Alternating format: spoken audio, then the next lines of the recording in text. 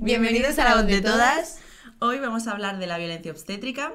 En primer lugar, la violencia obstétrica se refiere a las prácticas y conductas realizadas por parte de profesionales médicos hacia las mujeres tanto en el embarazo como en el parto o posparto, en el ámbito privado o público, que por sea acción u omisión puede ser violenta o percibidas como violentas. Según datos del Observatorio de Violencia Obstétrica de España, casi un 40% de las mujeres identifican que han vivido esta violencia, un 44,4% de estas mujeres consideran que fueron sometidas a procedimientos innecesarios o dolorosos durante el parto y un 83,4% de estas mujeres no habían dado un consentimiento informado a estas prácticas. Bienvenidos a La Voz de Todas, un podcast de Alba y Carmen, todos los domingos a las 6. Entonces, para hablar de esto y un testimonio real, tenemos a Aina Parareda Viñet. Hola. Bienvenida, ¿qué tal? ¿Cómo Gracias. estás? Bueno, empezamos un poquito. ¿Cómo estás primero? Bien, preparada para la acción. Para, empezar.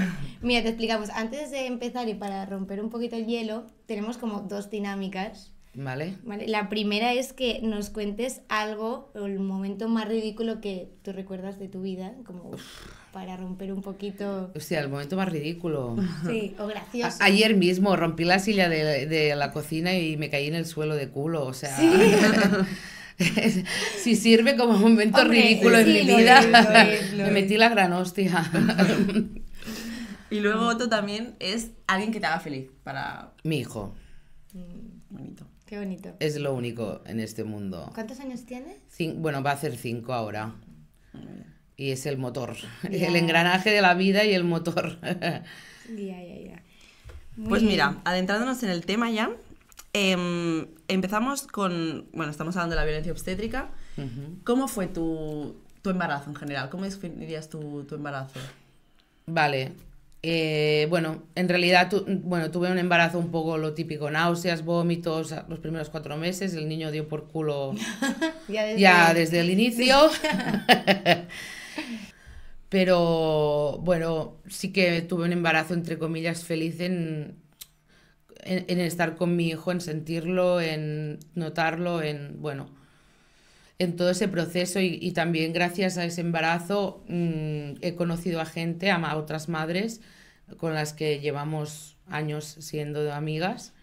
Y no sé, como que empieza la transformación en el embarazo, ya empieza a cambiar tu círculo, empieza a cambiar tu, tu mente, Claro, tu- tus prioridades. tus quizás, ¿no? prioridades, tu mente para prepararte para lo, para lo que viene. Realmente yo era como muy, muy primeriza, que yo lo reconozco, era como muy...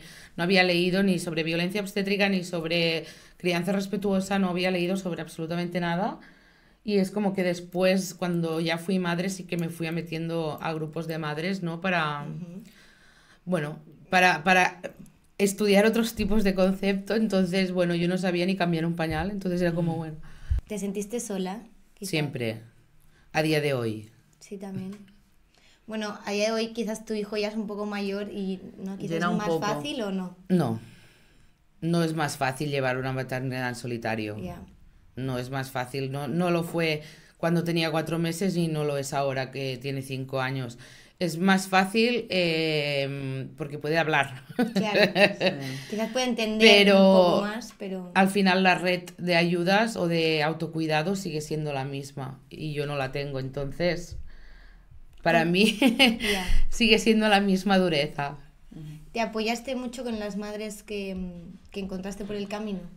Tuve y tengo a madres que me encontré en el camino, sobre todo que nos conocimos previo, o sea, durante el embarazo, y, y que siguen ahí, que siguen Eso- tirando de mí muchas veces. Eso también es bonito. importante o sea, como también. las No, cosas al y tanto. Hay cosas malas, pero te llegan cosas buenas también. Sí, no, no, la verdad es que si puedo sacar algo bueno de eso es eso. Tener a, a una amiga que es como una hermana. Sí, exacto. Eso es... Las cosas más importantes al final... Bueno, y tener al peque, que obviamente eso fue la luz. Sí. Al final se aguanta por eso. Sí.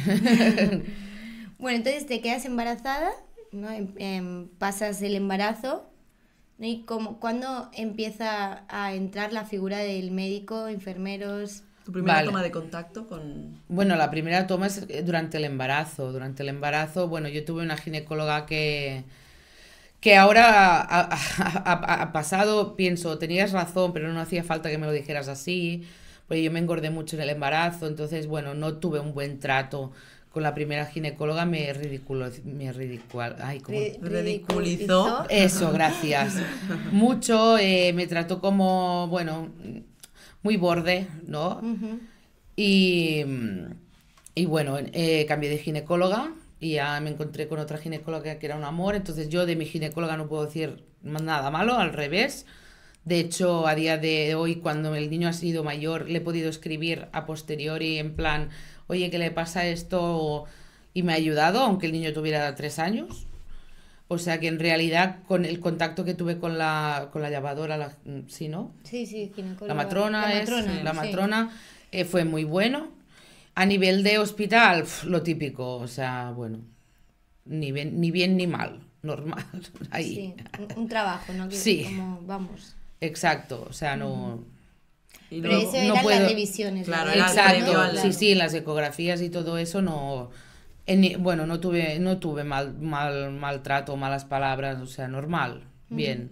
Yo no me esperaba lo que iba a venir detrás. Claro, la Claro. O cuestión sea, el es... rollo es, yo tenía confianza con esas personas, yo fui a la charla del hospital que dan para las, ma- para las madres que están embarazadas para que sepan cómo se va a parir, qué significa, hice la visita, vi los, los paritorios, o sea, y te lo pintan todo súper feliz y bonito, en plan, os vamos a respetar, os vamos a dejar espacios, no sé qué, os vamos a dar pelotas, os vamos a espejo, lo que tú quieras, bla, bla, bla, bla, bla, bla, bla. Todo eso desapareció en el momento del real del parto.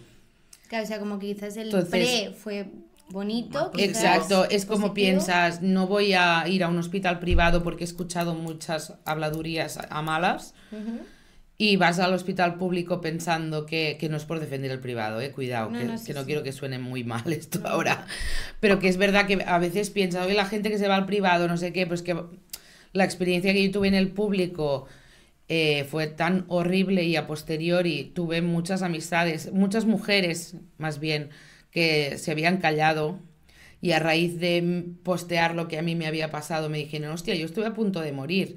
Hostia, yo tuve una mala experiencia también, ¿no? Y empiezas a ver que no, no eres tú Que no eres la única. no eres tú y, es- y que estamos en el siglo XXI y que salga la directora al hospital diciendo que no se hacen malas praxis cuando no es así, ¿vale? Que diga que no se utilizan unos forceps cuando no es así o cuando no se hace una maniobra de Christeler cuando no es así, a posteriori piensas, hostia, es que esta gente es... Además que, este- o sea, la violencia obstétrica existe y existen muchas mujeres, o sea, que la gran mayoría ha sufrido en mayor o menor medida esta violencia. Sí, antes los datos, que totalmente. es muy...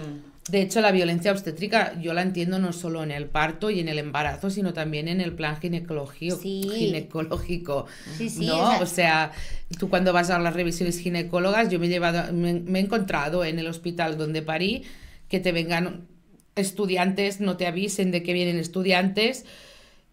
Y, Y, ya cómo te trata el médico, porque, o sea, yo no he tenido un embarazo, pero yo he ido al ginecólogo con un médico y yo me sentí muy agredida y violenta en ese momento por cómo me hablaba, por el tono en cómo me hablaba y en la situación que yo estaba, quería decir, con las piernas abiertas, tal cual. desnuda, tal y ese cual. hombre hablándome con una forma directa y violenta y a- a- acusándome de ciertas cosas sobre... mm, Tu sexualidad o Su- tu tu Tu cuerpo. sexualidad. o tu cuerpo. Total, y eso es muy violento. O sea, Mucho. que al final no solo Sí, está en el parto, puede ser en una revisión tan simple ginecológicamente Sí, sí, hablando. sí, por eso, por eso. Que a veces quizás pensamos, ¿no? Que yo prefiero, por ejemplo, que me examine una mujer, pero también me lo puede hacer una mujer. A mí me claro. maltrataron mujeres. Claro, claro, claro. Que a veces pensamos, mejor Es- una mujer y pero tal, pero Se puede dar en los dos. en los dos casos. Sí, al final yo creo que es un tema de estar actualizado a nivel educativo, a nivel formativo. eh, y hay gente que lleva años a- a, em, repitiendo las mismas prácticas y sin ningún tipo de consecuencia. Claro. Entonces, si yo hago una cosa y nunca me dicen que pare, voy a seguir haciendo lo mismo, Claro. porque así me lo enseñaron hace 20 o 30, 40 años. Claro, quizás formación, ¿no? A los Exacto, se sanitarios. dice que se hace formación, pero no es verdad. Yo no la veo aún. No es verdad. Eh, a- obvia- yo creo que sí, que a- ob- obviamente alguna formación se hará, pero a la práctica real no se extiende a todo el personal sanitario. Quizás las nuevas generaciones, Claro, la gente joven, ¿no? Yo me he encontrado ginecólogas jóvenes que sí que ya saben lo que es la violencia obstétrica, ya, Ya te, te hablan, hablan, ya sí. te hablan, te tratan con respeto. Yo me he puesto a llorar por una simple por un una simple revisión de ginecología después del parto, Claro. porque to- o sea, porque el, el cuerpo reco- recuerda, tiene memoria, ¿vale? Las heridas tienen memoria. Cuando tú tocas una herida, ¿vale? Esa herida te, te, te mueve toda entera, ¿vale? Entonces, bueno, yo sí que he encontrado el respeto quizás después, ¿no? En, en las visitas estas, pero no durante el parto o, o previo a este. Ujú. Y propiamente, si nos adentramos en, en el embarazo en sí, ¿cómo, ¿cómo es esa llegada al hospital, ese ¿Cómo te pones de parto? Sí. Vale, yo no me pongo de parto, me ponen de parto, es diferente. Yo no me pongo de parto, yo me fui en San Jordi a hacer una revisión de monitoraje eh, para ver cómo estaba todo y en principio el niño sí estaba bien y tal, pero sí que me mandaron para la, la revisión de la presión, tal. Ujú. Eh, me cuesta hablar, ¿eh? Ah, no, tranquila, tranquila. Vale, Nos tomamos el entonces, tiempo que sí, quieras, es que- si quieres parar o lo que sea. Pues no Es que es una herida, ¿sabes? Mm. Es una herida que tú vas cerrando con el tiempo, pero que está ahí. O sea, con toda libertad, si Es- algo no quieres hablar o No, parar. sí, sí, sí, sí. Eh, me empiezan a monitorear la presión, ¿vale? Y venga, y venga, y venga. Y estaba con la presión muy alta. Yo al final le tuve que decir a, a la, a la enfermera que parase porque dije, no, estoy a 14, no sé qué. Para ya, sí. No vas a, o sea, por más que lo pruebes 20 veces, voy a estar a la mi- en la misma, de, en la misma tensión arterial. Entonces me hicieron una prueba de orina. Me dijeron que encontraron no sé qué en la orina. Yo a día de hoy no sé lo que encontraron, porque en ningún momento me lo explicaron. La ginecóloga que me visitó tal cual me dijo, bueno, estás muy alta de tensión. Lo que no me explicó en ese momento es, a lo mejor estás teniendo una preeclampsia, que eso sí que es motivo de inducción al parto o de... ¿Sabes? O de, o de cuidado porque hay riesgo para la madre y el bebé. Eso a mí no se me informó. Me dijo, estás alta de tensión y te hemos encontrado no sé qué en la orina. Hoy te quedas a parir. Dice, además, hoy no hay gente. Es que me lo dijo así. Eh, yo estaba muy, muy, muy, muy nerviosa porque obviamente tú no piensas que vas a, a parir Claro. y encima estaba sola. Eh, aparte, entre medio de esta conversación, porque obviamente no recuerdo la conversación entera, ha pasado mucho Es tiempo, pero sí que sé perfectamente que la señora cogió el teléfono y habló por privado con algún familiar que Mientras tenía. te examinaba. Sí, sí, sí, sí. sí, sí. Sí, sí. Y tal cual le dijo la enfermera, trae los papeles, eh, hoy te quedas a parir. Claro, yo ahí ya... Claro, es que lo más grave es que no, que no te informaran de por qué. No, no. Porque si le explicas, mira, tienes esto, esto te puede producir Claro, esto. y te dan un margen, te dicen, mira, no te preocupes, llama a tu pareja, llama Claro. o llama a quien necesites que te acompañe en este momento, ¿no? Porque estás venido sola, porque no, no fue así para nada. Fue, hoy te quedas a parir, mira, toma los documentos, fírmalos. Claro, yo, ¿Qué vas a hacer? yo firmé. Pero claro, te- ponen miedo también en el cuerpo. Claro, bueno, es que en ese momento yo estaba absolutamente tan nerviosa, en plan, Claro. hostia, yo hoy no iba a parir, yo no tenía en mente que hoy iba a Algo parir. va mal. ¿Sabes? Claro. y no te informan de qué. Y, y piensas, ¿y ahora qué? ¿Sabes? Entonces, bueno, ah, yo me, me acuerdo que fue, entre comillas, gracioso porque le iba mandando WhatsApps a la que era mi pareja en plan, me quedo a parir, no me quedo a parir, me quedo a parir, no me quedo a parir, porque no tenía claro si realmente me quedaba a parir o no me quedaba a parir. Claro, no te dejan, claro. No, Por parte del equipo médico, ¿se te impidió en algún momento que tu pareja fuera o era una cosa que ellos... se me impidió que le contactara en ese momento, ¿vale? O sea, el rollo es cuando salgo de esa visita, me viene a buscar un- otra enfermera que me dice vámonos a, a paritorio directamente, o sea, nos vamos a, a la a sala de partos, no nos vamos a habitación ni nada. Entonces, claro, yo como no, en ningún momento me dijo, nadie me dijo, Llámalo. para. para cinco segundos, llama a quien tengas que llamar, avisa de que estás aquí. No, ya lo harás. De hecho, en algún momento se me dijo esto, tranquila, ya lo harás. y yo iba diciendo, estoy muy nerviosa, verbalizando, ¿no? Estoy Claro. mal, estoy muy nerviosa. La enfermera hasta que me bajó a, a urgencias de, la, de materno, eh, me dice, eres primeriza, ¿no? O sea, ya es como, ya estás prejuzgando que por el hecho de ser primeriza puedes hacer conmigo lo que te dé la gana, ¿no? Como invalidando Es tus como- sentimientos. exacto, es Por ser como- primeriza, bueno, es normal que No sabes lo que te viene, ¿no? Claro. Es como así. Entonces, bueno, directamente me meten en sala de partos, me dicen, desnúdate, ponte la bata, tal.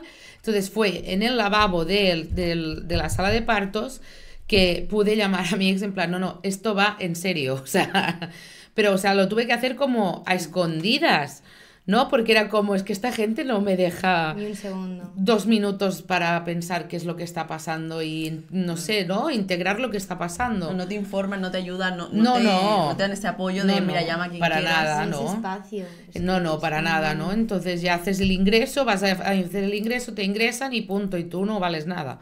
Y da igual lo que les digas, porque yo iba repitiendo, hostia, es que estoy nervioso y yo estaba así temblando.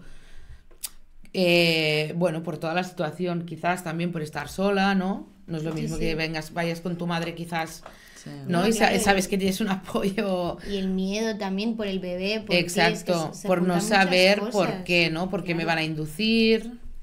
Bueno, entonces me dicen, bueno, te pondremos una, una medicina que va con una tirita en, en la vagina, que eso lo que va a hacer es eh, empezar el proceso de, de parto. Claro, ¿tú qué dices? ¿Qué Haz es lo eso? que quieras. es que al final es un médico, una enfermera, o lo que sea, y es Exacto. como, Claro, y ¿quién no- eres tú que no, No, no te sabes ni sale? qué- Claro. qué te están poniendo. Claro. O sea, no te dicen, mira, te voy a poner esto, pero esto puede, pro- eh, puede llegarte No. a estos efectos secundarios. No, no, no, nada. no, no, claro, tú que dices, pues vale, No, pues sí, no. claro. Claro, es que yo no sé nada, a nivel médico no, sabemos nada. Claro. no, claro, tú te fías de ellos. Claro, claro. sí, sí, está claro. Entonces, eh, una vez me pusieron esto, sí que la, la matrona me dijo, bueno, si me necesitas no sé qué, se fue. Y ahí me dejó. Entonces yo fue como, menos mal, me han dejado sola. O sea, yo deseaba que me dejaran sola. Entonces pude llamar bien, ya, ya llamé a mi madre, mi padre, ¿no? O sea, ya como... Un momentito. Ya puedes, hostia, ahora ya puedo respirar, pero claro, a lo mejor de esto había pasado media hora, ¿no? Vale, o sea, te, te, te inducen el parto con este medicamento, ¿no? Sí, y te dejan exacto, sola. exacto. Me dejan Vale. sola en sala de partos. Yo Vale. no salí de sala de partos. Yo estuve ahí hasta que nació mi hijo, al día siguiente, o sea, estuve un día entero ahí. ¿Y este medicamento qué te, qué te hace sentir?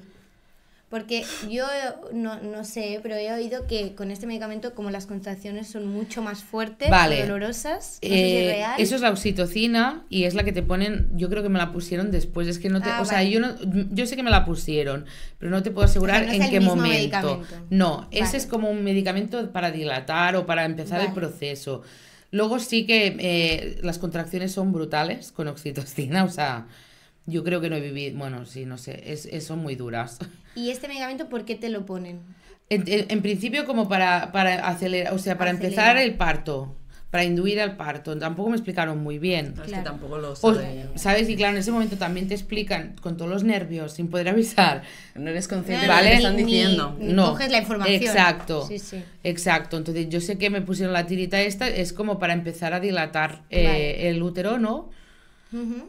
Entiendo. Es que hablo Sí, desde el sí. desconocimiento, Claro. No, no, hablo sí, desde el desconocimiento porque no tengo la información médica de lo que me pusieron, no te puedo decir más.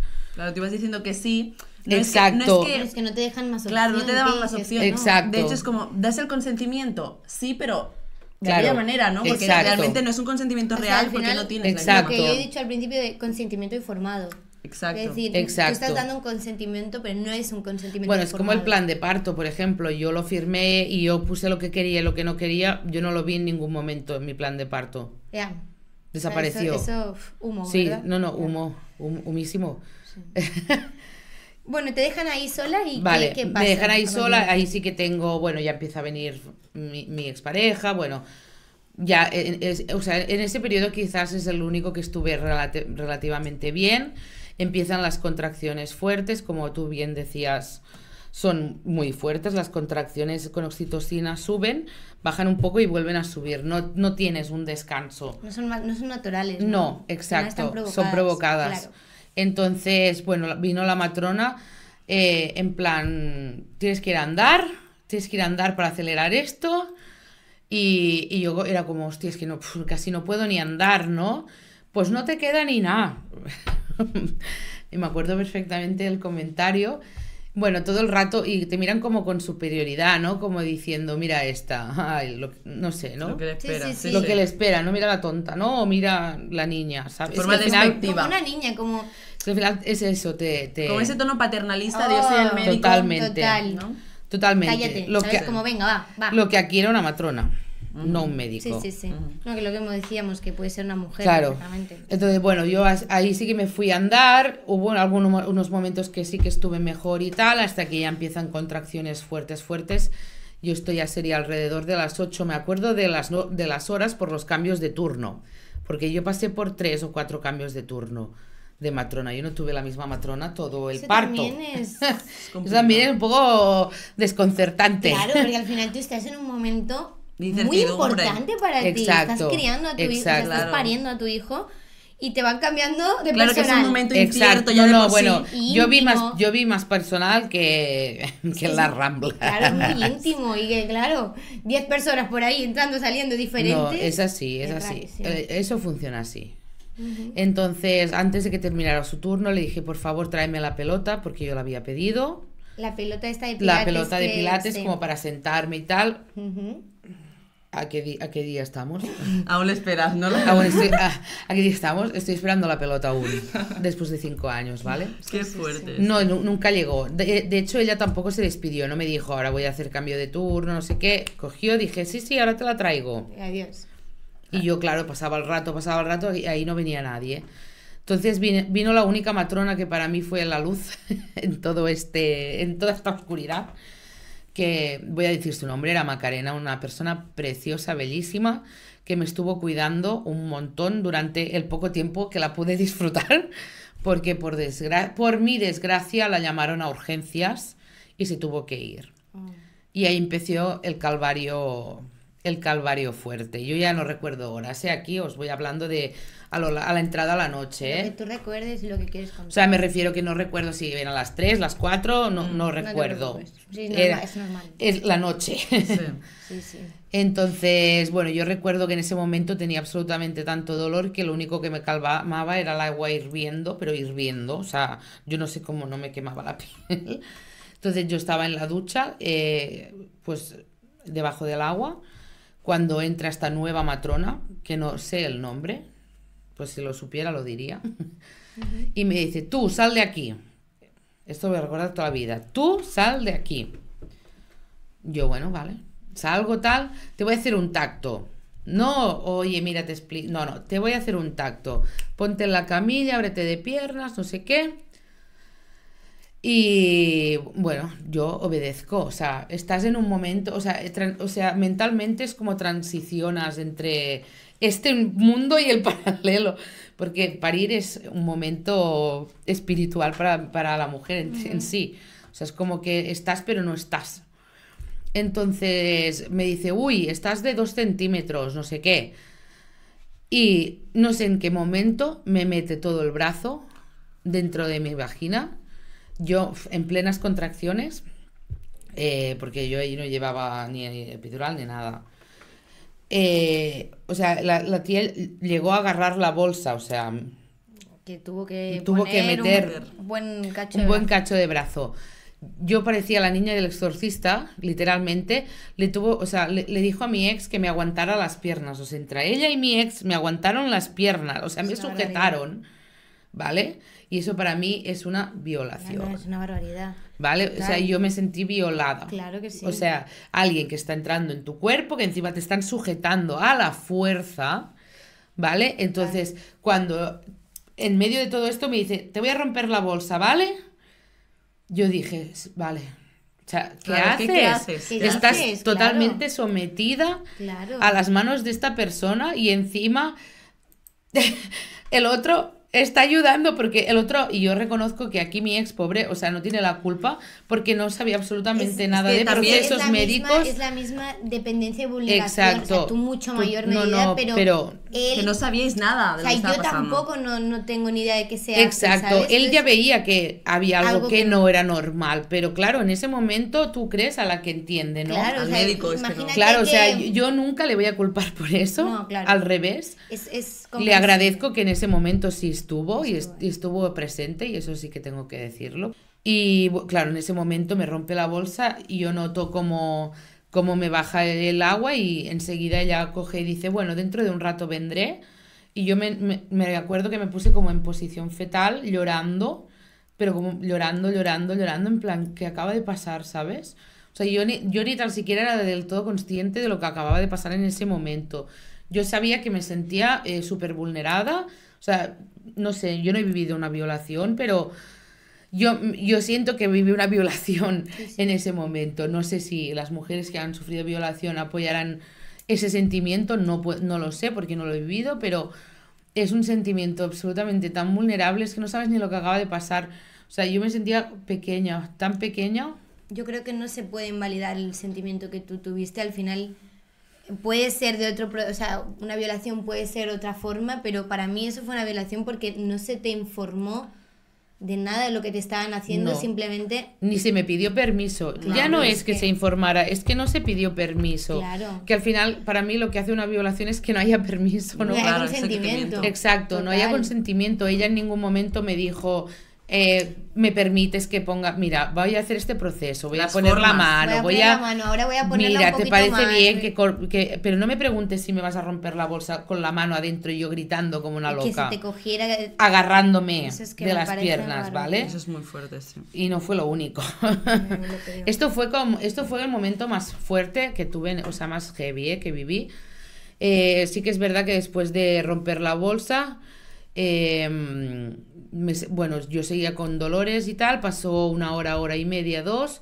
Entonces dije, quiero la epidural. Es como que ya no, no, ya no quería sentir absolutamente nada. Vino la misma matrona, yo ya cagándome en todo se puede decir, ¿no? Sí, sí, sí. Vale, no hay niños, ¿no? vale, pues vino la misma matrona con la anestesista, echaron a mi, a mi pareja del cuarto, que eso es algo que él discutió y pero aún así no, no consiguió poder estar ahí, o sea, le echaron de la sala. ¿Para qué? Para que no viera cómo me iban a pinchar, ¿vale? Eh, porque la matrona esta era una hija de puta, lo siento, es que No, no, no, tiene... no, o sí, sea, sí, si me la encuentro por la calle no sé lo que podría pasar. Sí, no, no. Entonces, bueno, para que me pusiera la anestesia tienes que estar muy quieta, todos eso ya lo sabemos todas, ¿no? Eso. Bueno, claro, te Y el proceso epidural también debería ser un proceso respetuoso, ¿no? Decir, bueno, vamos a esperar a que te sientas bien. No, todo eso no existe. Te dicen, bien, siéntate. Entonces yo me senté, pues te sientan mirando para adelante. Entonces ella puso su pierna entre mis, mi- entre mis piernas y sus codos encima de mí, aguantándome así. Entonces, o sea, fue en plan, te- como si me agarrara, en plan, no te muevas. La anestesista, perfecta. O sea, no puedo decir nada de la anestesista porque no. Ella Hizo su trabajo. cobra por hacer eso, vengo y pum. Eh, más bien la otra, como me estuvo sujetando, cómo me. ¿No? Es, es todo el rato. Sí, sí, es sí, que claro. Una especie de tortura constante y pensaba, ¿pero cuándo termina esto, sabes? Inmovilizándote. Claro, o sea, fue como, ¿cuándo termina todo esto? Entonces, una vez me pusieron la epidural, se fue el dolor, es verdad. Y, y ahora ma- madrugada, pues cambio de turno antes de cambiar el turno de las 8 de la mañana. Van por turnos de 12 horas, ¿no? Y apareció Macarena otra vez. Y fue como, Macarena, ¿por qué te has ido? O sea, de hecho, yo en ese momento sí que le- me, me acuerdo de decirle, hostia, ¿por qué te has ido? ¿Sabes? Eh, mm, te he echado en falta. Te he echado de menos, no la conocía de nada esta mujer. Pero te había Ella acariciándome, no sé, o sea, Cuidándote. cuidándome. Fue, fue espectacular esta chica. Bueno, entonces se fue y yo conseguí dormir un, un poco porque entre eso no duermes. Ya, ya, ya. Y apareció el turno de las 8. Entonces entro a la lavadora, buenos días, ¿qué tal? O abre la puerta, dejamos la puerta abierta de sala de partos. Venga, venga, vamos a ver cómo estás. Ve, eh, eh, alegría. Me acabo de tomar el café de las 7 y, ¿sabes? Sí, y yo, sí, y hija de puta, llevo aquí 12 horas, ¿vale? Eh, no, no tengo la misma energía que tú, ¿sabes? Claro. Con lo que he vivido. Aparte, yo como ya tenía ese recuerdo doloroso de lo que me había pasado, eh, no se les ocurre nada más que decirme, aquí tienes para ir poniéndote tú misma eh, el medicamento, ¿no? Como para, no, para anestesiarte, ¿no? Y yo estaba así. Claro. Claro, o sea, yo tenía absolutamente tanto miedo a, a sufrir nada más que me automediqué un montón. O sea, llegué, estaba, estaba borracha de medicamento. Solo querías Evadirme, de la realidad, claro. salir, salir, salir de eso. O sea, no quería volver a sufrir ni un gramo de dolor. Entonces vino esta matrona, me hizo otro tacto, me dijo, uy, esta es de, de 8 centímetros, tal. Dice, en nada ya, ya podremos parir y tal. Entonces yo sí que me acuerdo que eran las 10 y vino y le- estaba, o sea, yo iba tan drogada que le dije, ahora no puedo parir. Es que no, so, o sea, no, no estoy. Claro. Le dije, dame, dame un, un margen porque ahora no puedo parir. Ahora no. Y hacia las 11 o así volvió a aparecer. Entonces yo ya, o sea, ¿sabes esa sensación de decir, venga, vaya, terminemos con esto, por Ya no favor? puedo más. Va, ahora sí, da igual, terminemos con Es esto. que eran Yo muchas iba- horas ya también. Claro, sí, pero, bueno, un día entero. Mi hijo nació a las 11.55 y yo ingresé a las 12 del día anterior. Muchas horas. Muchas horas, mucho trauma. Sí, es que. Mucho personal, mucho todo. Y, y claro, bueno, y, que físicamente estás pariendo, Sí, sí, claro. ¿Vale? El cuerpo tiene su O ritmo. sea, si ya es complicado y doloroso parir, Exacto. imagínate con las condiciones que tú lo hiciste. ¿Vale? Entonces, bueno, yo ya no iba tan drogada como a las 10, iba drogada, pero no iba tan drogada. Entonces fue como, venga, va, pues voy a parir. Bueno, ahí aparecieron tres ginecólogas, la matrona y una auxiliar, que yo recuerde. No sé si hubo nadie más, Vale. porque ya puerta abierta. Que mi ex tuvo que ir a cerrar la puerta como diciendo, a ver, por favor. Vamos a parir con la puerta ¿Vale? abierta, claro. ¿Vale? Entonces, bueno, las ginecólogas súper majas, súper simpáticas, súper jóvenes, lo típico, ¿no? Vamos a mirarte, no sé qué, no sé cuántos, no sé qué. Bueno, que el niño viene mirando para abajo, pero no sé, no me acuerdo si es que venía mirando arriba o mirando abajo y así no podía ser. ¿Por qué? Vale. Porque su, su ciencia lo dice, da igual. Yo no, yo, claro, otra vez, Claro. Sin saber. no te opones a, a lo Porque que no te sabes, dicen Claro. Porque no tienes la formación y confías en que el procedimiento que están haciendo es correcto. Entonces empezó, empezó el- eh, los pujes, ¿no? Eh, aquí, aquí la matrona, la Marifé, me voy a acordar de su nombre toda la vida, se puso encima mío y me empezó a empujar la barriga. Eso es. Es la maniobra de. Cristelel, que esto está Prohibidísimo. prohibidísimo, no lo siguiente. Eh, mientras yo pujaba, ella me pujaba la barriga. Es que esto puede, para quien no lo sepa, puede perjudicar a la madre tanto en la salud como en el bebé. Sí, creo que tiene que ver con de el es tema muy de... agresivo y Exacto.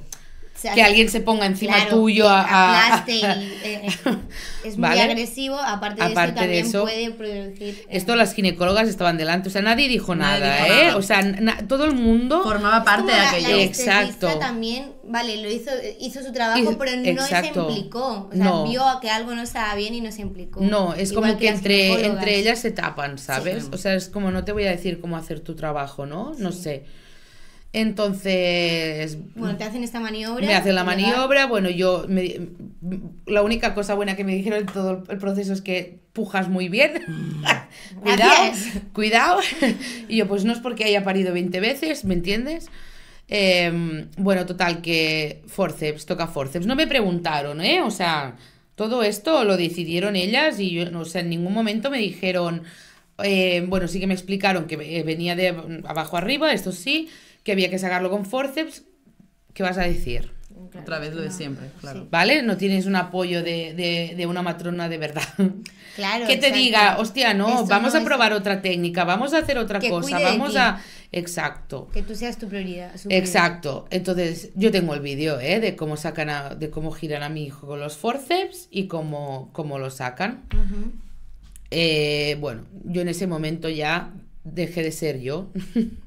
ya soy mi hijo. Sí, claro. Soy mi hijo y, y ya está. Y en ese momento es como, bueno, olvidas, ¿no? Lo que acaba de, de ocurrir todo, ya cuando tienes al peque Claro, que encima, ya... sa- sacan a tu hijo y entonces Exacto. ya se olvida todo. Eh, vale, las ginecólogas em- me empiezan a coser porque después me enteré de que aparte... Ah, me hicieron una episiotomía sin decírmelo, que esto no lo había Esto, hecho. esto, ¿Qué- qué ¿qué, es? es? Esto Es, sí que es no. un corte en la vagina Ah, para facilitar el Que paso. salga- En teoría, Pero eso se tiene que informar. en- eso se tiene que informar. eh, aparte, yo después me fui a la, a la matrona del CAP, que os decía que ella me llevaba muy bien, y me miró con cara de qué coño te han hecho aquí. Ah, pero no te informaron ni post, ni después. No. dijeron, ah, O sea, tú te No, fuiste no. y tú no sabías lo que había No, pasado. no, no, no, Wow. y espérate.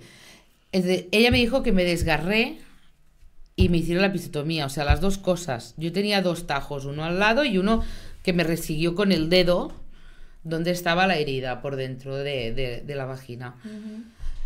Entonces, bueno, en ese momento desaparecen matrona y, y ginecólogas y me dejan con el auxiliar de, que yo creo un auxiliar de enfermería, creo, no sé qué era, era un chico, y se me ocurre decirle, oye, ¿me ayudas a, a poner el niño al pecho? No sé qué, y el pobre, o sea, temblando en plan, no sé qué tengo que hacer, o sea, fue muy frustrante el hecho de que dejaran a ese pobre chico ahí, como en plan de encárgate de esta, luego la subes a la habitación, porque me dejaron un rato sola ahí. O sea, se piraron, me dejaron con mi bebé encima. Eh, bueno, mi bebé cuando salió se hizo caca.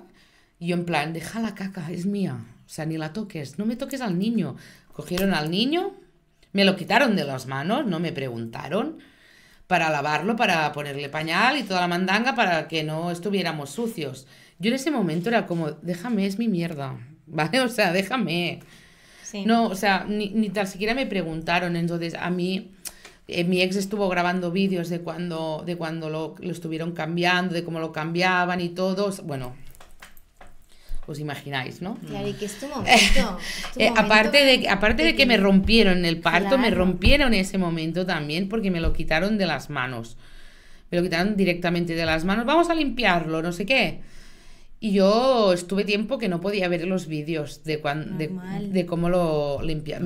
O sea, me dolía un montón pensar que yo no había defendido ese momento, ¿sabes? O sea, porque encima te sientes culpable. Claro, es que es una mierda, Es que encima, O sea, es que encima- perdón, no, no, es una que encima te sientes culpable porque piensas, hostia, no he podido, no he defendido lo que tenía que defender. Podría haber hecho más. No he agarrado a mi hijo así y, y Ya. le mordió la mano a la O sea, matrona, ¿vale? No sé. claro, no, además nos sentimos culpables. O sea, después de todo lo que tú viviste, llega la culpa. Totalmente. Llega la culpa de no, de no haber hecho bien las cosas, de no haberlas. Hostia, de no haberte hecho respetar, ¿no? La pena es que siempre llega la culpa a las víctimas. Sí. Nunca, nunca los No, agresores o sí. agresoras. no, Eso no, ¿eh? No, Eso- no, ellas seguirán, segui- seguirán torturando, supongo. Con las mismas prácticas, sí, sí. Es una barbaridad. Vale. Tú cuando entonces- vives esto, eh, no tenías ni idea de la violencia obstétrica, de No, no, no, no, no sabía ni lo que quería decir eso. Entonces yo cuando llegué a casa, ya ha pasado unos días, empecé a pensar, hostia, a mí me han pasado cosas que creo que no estaban bien. O sea, mm, no sé, como que tú misma piensas, hostia, hay algo que no me encaja. ¿Vale? Aparte tuve como sueños de que me, que- volvía a quedar embarazada, pero se habían dejado como ferralla dentro del cuerpo. Tuve sueños así, ¿no? Por el tema de los forceps. Claro, que no. O sea, tú cuando pensabas en tu embarazo, en tu parto, No, no. tenías No. un buen recuerdo. Claro, es Claro. que. No, yo, yo ni, bueno, yo no pensaba ni que ni iba a ser tan doloroso por la oxitocina, ni que me iba a pasar todo lo que me, todo lo que me pasó. pasó. Y de hecho, yo creo, eh, yo creo que es un tema de, de, de almas, entre comillas, de, de herencia. Mi madre me parió así. Mi madre también sufrió violencia obstétrica, una inducción con violencia obstétrica. Entonces, es como, hostia, tiene que volver a pasar para que, para que nosotros alcemos la voz, porque nuestras madres no tenían ese apoyo en ese momento, ¿no?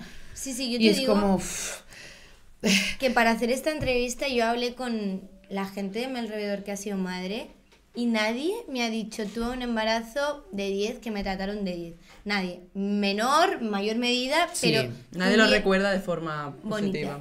O sea, No, es difícil. Tiene, nadie tiene un. ¿Sabes, sa- sabes, sabe- ¿sabes quién? Las madres que han parido en casa. O sea, las yo creo que son las madres que tienen un estatus económico que se pueden También, hay- también, antes. también, O sea, también influye, hay un, creo- influye el tema de estatus No, porque no- económico y, de, y cultural en este sentido. Claro, y no porque no haya buenos profesionales en el público, ¿eh? sino porque lo que has dicho, por ejemplo, de cambios de turno. En- cuando tú contratas a una persona, esa persona se te queda todo el rato ahí, Sí, ahí cuando no es público. Exacto. Bueno, yo de hecho ahora pienso, si tuviera que volver a parir, una, no sé si lo haría en casa, con una llevadora. Con más tranquilidad, ¿no? Y dos, si tuviera que ir a un hospital, no me llevaría a la pareja, me llevaría una llevadora. Claro, o sea, alguien que pudiese... una llevadora que eligiera yo, que me pudiera defender en según qué momentos, Claro. que, me, Que tenga que me estu- información. que estuviera apoyándome de verdad. Claro, pero eso al final es dinero. Que claro, no, no, no, eso, es, dinero, eso no lo puede permitir cualquier persona, obviamente. o sea, la, la, sanidad pública debería garantizar que todas las mujeres fuéramos respetadas en cualquier momento de nuestra vida, ya sea en el embarazo, en el parto, en, cuando cumplimos 15 años en las revisiones o cuando cumplimos 60, las mamografías, lo que tú quieras. Lo que tú quieras, porque a mí me han llegado a coger la teta en plan de, mira, yo te saco la leche. sí, que sí. sí, o sea, hay, hay cosas que que son muy, muy brutales. Y quien sufre, estamos en un sistema patriarcal, quien sufre la violencia son las mujeres. Total. Obviamente yo no diré que no haya hombres maltratados, yo eso no lo voy a negar en la vida. O sea, está claro que sí, pero... pero yo estoy segura que a un hombre no le, o sea, en una en una en una visita de urología, por ejemplo, no le hacen no, la violencia no, no lo ridiculizan, no lo ridiculizan. Claro, la violencia es estructural al final. O sea, un hombre puede ser maltratado por su pareja mujer, sí. pero la, la, violencia que sufrimos la mujer al final es estructural, es decir, está en todos los ámbitos. Totalmente. Tanto en la sanidad, como en la educación, como en el ámbito privado, en las parejas. En todos los sitios. Claro, entonces... tú te veías atacadas por muchos puntos de vulnerabilidad en ese momento, o sea... Claro, no era solo uno, eran no, no, varios. eran varios. Eran varios, sí, sí. Por eso digo, mi hijo nació con violencia y eso es algo que que siempre voy a tener ahí. Claro. Siempre voy a tener ahí. O sea, en realidad es como que me gustaría tener otro embarazo para sanar mi primer parto. Porque es que es como hasta que no pasas por eso no puedes sanarlo y es como no. no debería ser así. Aparte yo me informé para poder denunciar de forma legal. Pero estuve con una buena abogada, ¿vale? Pero ella directamente me dijo, si no hay secuelas físicas que se puedan ver, no hay manera de denunciar a esta gente. Esta gente se tapa, las matronas tienen su su bueno, su, colectivo, su círculo y denunciar ese maltrato es empezar una guerra que no, que no vas a ganar. ¿Vale? Entonces es como... Vivir con Vale, no puedo denunciarlo legalmente, pero sí tengo voz Claro, es denunciarlo a nivel social. Exacto. Entonces, si yo puedo hablar para que otra mujer en, en algún momento de su vida pueda defenderse de que no le vuelva a pasar eso, Claro, también Yo voy a hablar las veces que hagan falta. También para ser consciente, ¿no? Porque es decir, si, si mm, quizás tú no hablaras, yo quizás no sabría que esta maniobra es ilegal. Exacto, exacto. Y que existen grupos de apoyo. Yo les digo, o sea, que antes de parir, que las mujeres no vayan al CAP. O sea, que vayan al CAP a hacer las, las sesiones de, de cómo cuidar a un bebé. Perfecto.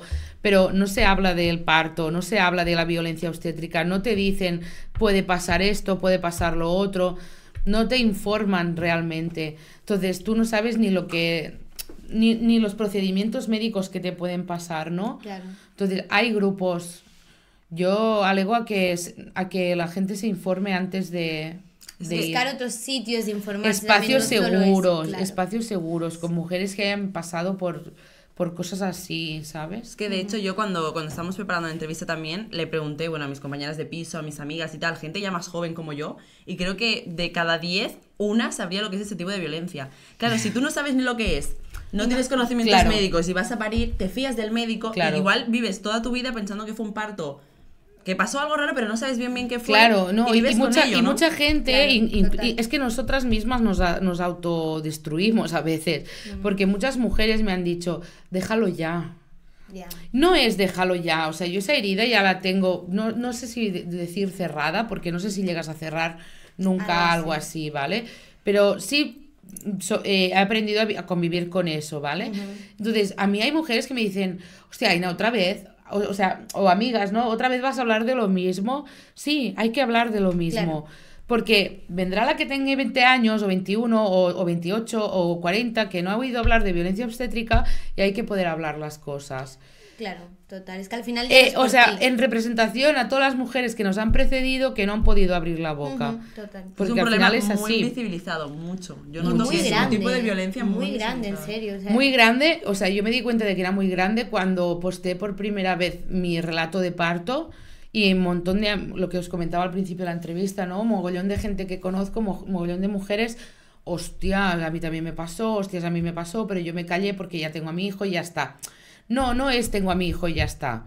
Claro. ¿Vale? Porque, o sea, hostia, mm, las madres tendemos a, a- a- bueno, a, Priorizar a- a el- priorizar los niños, nos priorizamos los niños y no nos priorizamos nunca nosotras. Y creo que es importante también priorizarse a una misma. Y eso te das cuenta con el tiempo. Y que sí, que hablar de lo mismo 20 veces duele, Sí, obviamente. sí, sí. Y, me- y me va a doler hablarlo 40 más. Siempre, sí. Pero si sirve de algo, Claro, total. si sirve de algo, yo siempre pienso, hazlo por ellas Mm. y por ti. Sí, Sí, hablar también es muy sanador. también- Sí. Repetir las cosas parece que no, pero repetir las Sí. cosas es Sí, muy, sí, sí, es muy sí. sanador. Sí, Y al fin, y después de todo esto, ¿cómo, cómo tú empiezas a cuidarte realmente? Yo- ¿Tomas medidas psicológicas? es que esa es buena, ¿eh? Eh, Esa es muy buena, ¿eh? es que esa es buena. eh, ¿Cuándo? Nunca. Aquí seguimos, es que, ¿no? es que te respondería eso, Ya, ya, es que te te, entiendo, respondería ¿eh? eso, porque aparte yo después, de- cada una tiene su experiencia eh, vivencial que no tiene nada que ver con el parto y... Claro, claro, después la vida Claro, sigue Claro, yo, es que- yo me convertí en madre monoparental cuando mi hijo tenía cuatro meses y medio, Claro, ¿vale? es que Que, eso es. empezamos a vivir solos. Entonces, yo creo que ahora empiezo a pensar un poco en mí, un poco digo, ¿eh? O sea, a realmente pensar en el autocuidado. Claro. Depende, yo ya lo digo, depende mucho de las situaciones de cada mujer, de la vulnerabilidad que Claro. tenga, porque no es lo mismo una mujer con dinero, con pareja, con apoyo, con familia de apoyo. Yo no soy de, de Barcelona, no tengo familia aquí. Por lo tanto, yo sé lo que es tirar con un niño sola, sin ayuda de nadie. Bueno, doy gracias de que tengo mis vecinas, que son la red la red real, la red matriarcal, que puede- esto estaría bien hacer un trabajo de campo de esto. Eh, la red real, porque hoy en día las familias además están como Muy dispersas. muy dispersas, ¿vale? No es lo, lo típico que antes la mujer paría en casa, con la madre, con la suegra, con... Sí. No, eso ya dejó de existir. Entonces, en mi... Claro, cuando me he empezado a cuidar, cuando mi hijo ha sido un poco mayor, bueno, y también mi cuerpo me ha hecho parar. También es... también. O sea, mi cuerpo me ha hecho parar. El pero- cuerpo es muy sabio también. Exacto. Hay un tope. Entonces, te podría decir que hace dos meses que estoy como dándole la vuelta a la, a la tortilla, porque además si- las mujeres siempre tendemos al, auto, eh, al cuidado de los demás, ¿no? Sí, es como sí, que sí, es, sí. algo que nos han impuesto a... Tenemos, a que lo ser largo- las madres salvadoras de Sí. todo el Exacto. mundo. Entonces es como que te sientes culpable por no cu- poder cuidar a tu hijo. Yo ahora mismo estoy de baja por un, un dolor de espalda, da igual, lo voy a decir así, por una hernia. No puedo estar con mi hijo lo que me gustaría estar y me siento culpable. Y me siento mal. ¿Vale? Y esto, ah, bueno, esto es un- una de las maravillas de la maternidad, ¿no? Sí, sí. Sí, sí, la... Que no, claro, no es lo mismo estar en sol- sola con esto, ¿vale? Que estar a lo mejor con pareja, que tú te Claro. puedes encontrar así, pero tienes a tu hijo, tienes tu, tu margen, tienes tu apoyo. No, y que al final también tú nos estás contando tu historia. Lógicamente para alzar la voz sobre la violencia obstétrica, pero es tu historia y, y al final Exacto. tendrá puntos característicos que solo tú has vivido. Exacto. Quizás otra mujer tiene Exacto. otra situación y ha vivido Exacto. violencia obstétrica. Exacto. Exacto, no, no, y que a la violencia, o sea, es- no, no entiende ni de clase ni, No, no. ni, de, ni de rangos, ni de raza, ni de la violencia para, contra la mujer está ahí. Obviamente, como mujeres blancas tenemos unos privilegios que otras mujeres no tienen, eso Sí, también sí. hay que decirlo, Claro. porque ya si eres inmigrante ya, No, bueno, y- y- Hay más puntos de, de conexión. Vale. con- Sí, o sea, es con una- es una es discriminación. muy, es muy brutal, ¿no? Sí, bueno. mucho. Y te ves, o sea, a nivel psicológico, ¿tú, por ejemplo, te verías preparada para afrontar otro parto después de todo lo sucedido? La verdad. No, Es que ahora yo mismo justo lo no. pensaba, digo, una experiencia Ahora así... mismo no, ahora mismo no. Bueno, pero también supongo que por otros factores, ¿eh? Yo conozco mujeres que han sufrido violencia obstétrica y han vuelto a tener, han tenido el parto que querían. Claro. Pero porque, claro, como pasas por eso, ya dices, ya seguro que no voy a volver a pasar por ahí. Tienes muy ese camino idea. no, ese, ese, ese. O sea, vo- voy a mirar Claro. los 50 caminos que rodean ese camino que no quiero pasar y cuál es el que mejor me de esto. Yo tengo otros temas, también es, es lo que os digo, o sea, Claro, maternar en solitario. Claro, es que Vale, es o sea, plantearme complicado. una maternidad en solitario otra vez, no, gracias, de momento no. Claro. No, no, no, y que también te toca cuidarte a ti. No, no, es que estoy en este momento. Y está muy bien, la verdad es que si no, tampoco no podemos cuidar de los otros o cuidar de un niño si no estamos bien. exacto. tampoco. Pero yo creo que es como que mm, Tenemos que hacerlo, sobrevivo, ¿eh? ¿sabes? Mm. A mí me dicen, es que la vida, ¿qué es la vida? ¿Sabes? Yo, piloto automático, ¿no? Claro, Ya, ¿qué, pero- qué es la vida? Porque yo mm, no disfruto de lo que vivo. Claro, pues que pues el Porque yo cuerpo... pi- es piloto automático de cuidar, llevar al niño al colegio, trabajar, no sé qué. Y en algún momento yo me he parado a mirarme a mí, a decirme, hostia, pues mira, me gustaría apuntarme a hacer no sé qué. Claro.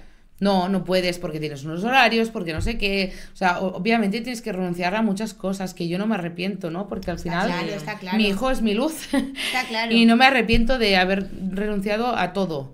Pero que es duro. Claro. Es duro. Y más cuando no hay red. Que yo sé de madres que me dicen, hostia, claro, es que yo me he apuntado a piscina, pero claro, si resulta que está la abuela cuidando del Claro. nieto, ¿no? Sí, sí, sí, total. Claro, o sea, yo- hay momentos en que es como, bueno, un poco de risa, pero...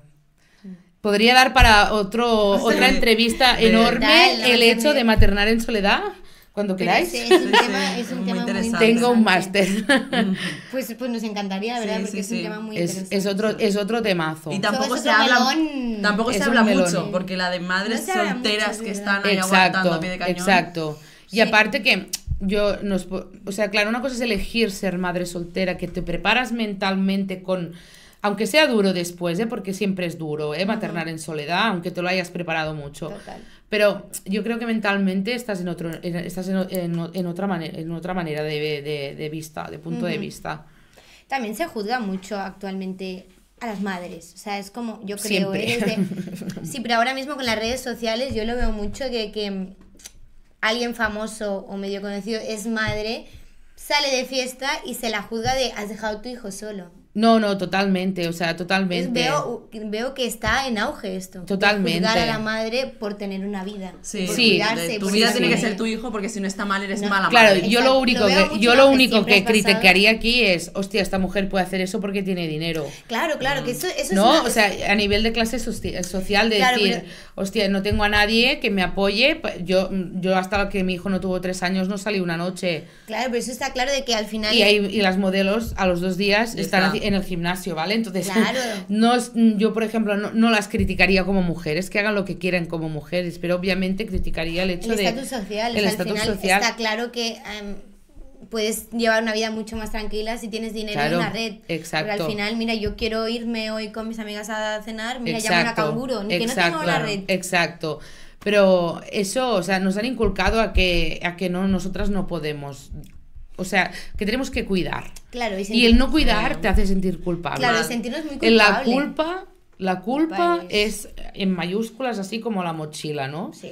Es como, hostia, o, yo qué sé, yo por ejemplo le he dado el, pe- el pecho a mi hijo casi, cuat- casi cinco años, lo dejamos hace poco, pero hay mujeres que por lo que sea no pueden, no quieren, da igual, el- lo que sea, ¿no? Y es como que se las juzga también Mucho. por... Y es como, hostia, Por dejadnos pecho. tranquilas. Claro. O sea, dejadnos tranquilas. Si yo quiero sacar el pecho en la calle, dejadme tranquila. Y si saco el biberón también. Claro, Sí, es sí, como sí. de- Al final al es como- yo voy a hacerlo, pues yo decido. Si yo quiero exacto, o no quiero. exacto. Está claro. ¿Vale? Yo soy pro lactancia, siempre lo diré. ¿Vale? Claro, o sea- Pero obviamente cada uno que haga lo que Claro. quiera con su cuerpo y, y ya está. Total. Bueno, pues muchísimas Sí, gracias ha sido por la un placer. entrevista. A vosotras. Ojalá un día hablar sobre Cuando queráis. Cuando porque- queráis, pero tenéis cuatro horas o así, ¿no? Lo que quieras, pero me parece un, Muy un interesante. tema muy importante. Sí, sí, sí. Y, y bueno, pues muchas gracias por contarnos Sí. su historia sobre la violencia obstétrica. Ha sido un placer, muy Creo guay. Yo tenía es- mu- muy desconocimientos, mucho desconocimiento sobre el tema y me ha parecido súper. Creo que es muy importante hablar Sí. sobre esto y dar voz. Y Sí. sobre todo para que mujeres puedan identificar de esto no, no Sí. lo quiero yo. Sí, ojalá se levanten más mujeres a hablar. Total. Sí, Que, La gente vea Ay, que ya me canso, ¿eh? Bueno, y hasta aquí el vídeo. Muchísimas gracias. A vosotras. Terminamos, sí. Sí, que se, que se nos olvida, si no. A ver. Mira, vale. te- terminamos el vídeo siempre diciendo una frase en cámara las tres a la vez, como para animar a que otra gente hable. Vale. mujeres. Y entonces la frase es, em, y vosotras tenéis algo que contar. Vale. Y la decimos ahí las Vale. tres. Una, ¿sí? Dos y tres. ¿Y vosotras tenéis algo que contar? Muy bien. Gracias. Muchas gracias, eh, de bien. verdad.